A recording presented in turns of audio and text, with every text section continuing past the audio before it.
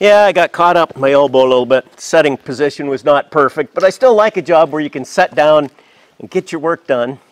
And I won't unclamp this one, we got another one. And the next we have a scribed line so that we can uh, grind to the line. So we used a template for cutting along, and then we had another template where we had scribed the line, and we give the not set down work to the young man.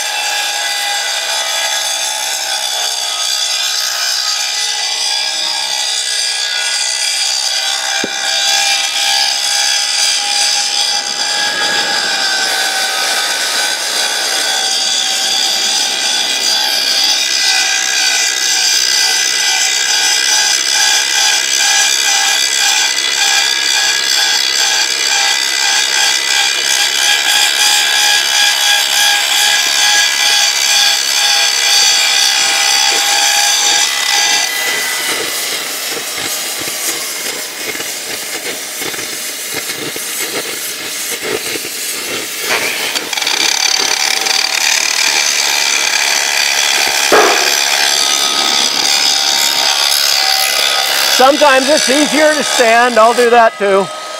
It's okay.